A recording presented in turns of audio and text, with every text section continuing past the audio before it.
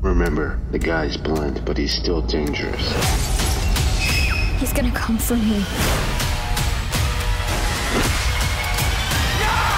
He'll kill you all. Don't Breathe 2. Now in theaters and on demand Friday.